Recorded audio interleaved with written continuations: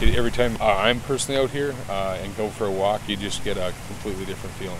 So started nine years ago. Every year, I've done some fairly substantial projects, and we just continue to complement the grounds. He owns 80 acres, so that we're currently on about six to seven acres. It's really about the feeling and the kind of the senses, all your senses, and that's what I think we've really achieved here. These clients are they're not just clients, they're they're not just customers, they're they're part of our kind of family. We are in the middle of the world, so we're in the middle of Canada, and we're in some of the, ext- the most extreme climates. So there is a lot of things that do really well. We just our our menu choices are a little bit less. Um, I think it's very humbling to win an award like this. Um, I think it's great for the company. all the hard work from the maintenance staff as well as the design build staff are the ones that have allowed us to get here. Almost all of them have been on this site doing some sort of work. It's always a treat. They all always like coming out here.